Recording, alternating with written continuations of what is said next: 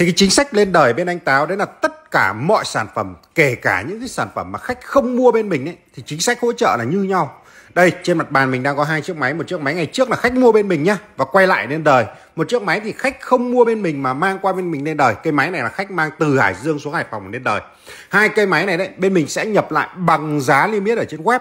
Có mỗi cây 14 Pro Max tím là trừ 300 nghìn tiền hình thức thôi nha. Cái cây máy iPhone 14 Pro Max 256GB này ngày trước khách mua nó là hàng new cho tiếp Ngày trước khách mua là 22 triệu 9 nhưng tại thời điểm bây giờ nếu hàng new chế tiếp ấy, thì nó khoảng tầm 22 triệu 6 nghĩa nó rẻ đi khoảng tầm 300 nghìn. Nhưng bây giờ khi khách mang quay lại bên mình lên đời đấy, thì bọn mình sẽ tính theo giá hàng đẹp keng nhé. Hàng đẹp keng nó sẽ rẻ hơn hàng new chế tiếp là một triệu rưỡi. Đây cho mọi người xem cái giá niêm yết của máy đây. Giá niêm yết của máy iPhone 14 Pro Max đen 256GB là 21 triệu 2.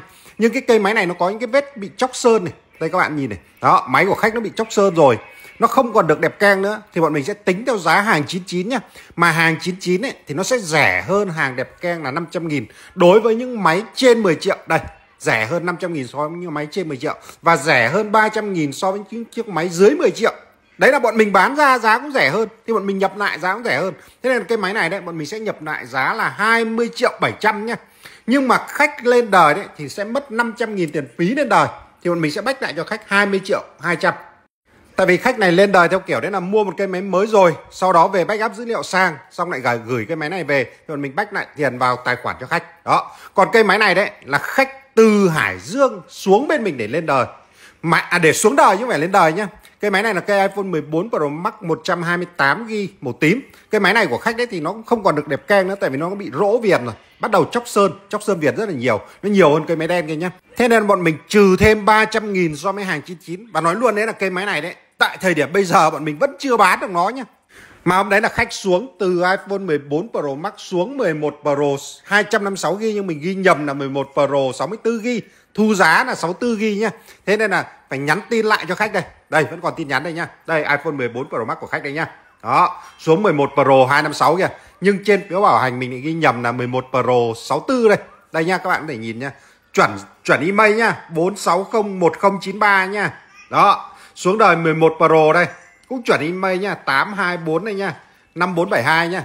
chuẩn hai cái máy nha và mình mình tính là mình tính giá đấy là 11 Pro 64GB và mình thu lại mình tính giá là 14 Pro Max 128GB Cây máy 14 Pro Max 128GB Tại thời điểm này hàng đẹp keo bọn mình đang bán giá là 20 triệu 100 Đây các bạn nhìn nhá 20 triệu 100 nhá Đây 11 Pro Max tím 128GB là 20 triệu 100 Thế là hàng 99 thì nó sẽ có giá là 19 triệu 600 các bạn hình dung không? Hàng 99 sẽ có giá là 19 triệu 600 Phí lên đời 500 nghìn, Có nghĩa là mình sẽ nhập lại là 19 triệu 100 Nhưng trừ thêm 300 nghìn tiền hình thức. Có nghĩa là mình nhập lại cây máy này 18 triệu 800 và đây bọn mình đăng bán nó 19 triệu 300 Nghĩa là bọn mình được đúng 500 nghìn nhé Bài đăng bán vẫn còn đây Và cây máy này tại thời điểm này vẫn chưa bán được nhé chưa bán được nhá. Thế nên nhiều ông cũng bảo đấy là, Ui giời, làm ăn lãi, nắm lãi vừa. Tôi bỏ ra 18 triệu.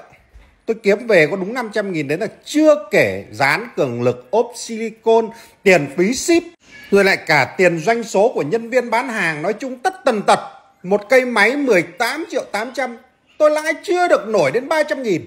Chưa được nổi 300 nghìn. Đấy, đó thì nhiều những con chim lợn rồi kền kền cứ nhảy vào bảo là ui giời, thằng này toàn nói thế chứ làm gì được kiểu như thế. Con mày đã thử chưa?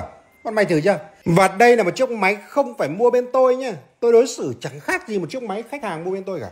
Lên đời tất cả đều giống nhau, nhưng nó có một cái khác đấy với những cây máy mà khách hàng mua bên tôi, mà khách hàng mua bảo hành một năm đấy khi khách hàng lên đời đấy, bọn tôi cũng chỉ thu phí 500 nghìn nhưng cái cây máy mới của khách hàng sẽ lại được bảo hành lại một năm mà bảo hành một năm bên tôi đấy không phải là bảo hành theo kiểu đấy là sửa chữa thay thế hay là đổi mới mà bảo hành bên tôi là trả lại đủ 100% tiền có nghĩa là cây máy đấy trong vòng một năm nếu nó lỗi đấy, Cây máy đấy được niêm yết ở trên web giá là 25 triệu, tôi trả lại đủ 25 triệu, không thiếu một đồng nào cả.